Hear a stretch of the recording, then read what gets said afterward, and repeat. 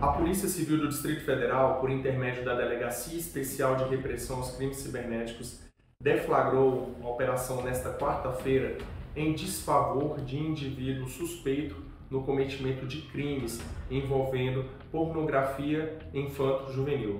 A operação ela ocorreu na região administrativa de Sobradinho e ela contou com o apoio de, do Instituto de Criminalística dessa Polícia Civil do Distrito Federal.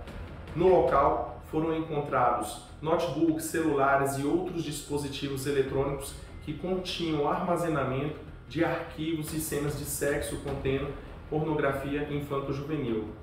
Na ocasião, o indivíduo foi preso em flagrante por esse delito, cuja pena vai de 1 a 4 anos de reclusão. O indivíduo ele possuía em seus dispositivos eletrônicos aproximadamente 2 mil arquivos inicialmente. Lembrando que a perícia poderá apontar para mais arquivos. Só de vídeos foram encontrados aproximadamente mil arquivos com estupros, vídeos e cenas contendo criança ou adolescentes.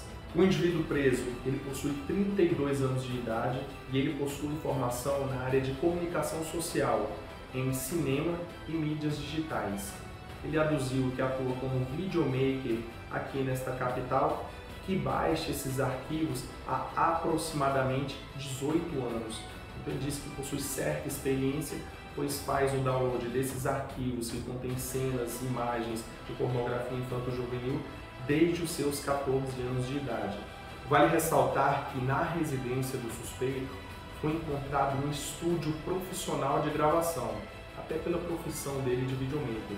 Contudo, as investigações ainda não puderam apontar se de fato ele realizava gravações, vídeos que contenham crianças ou adolescentes.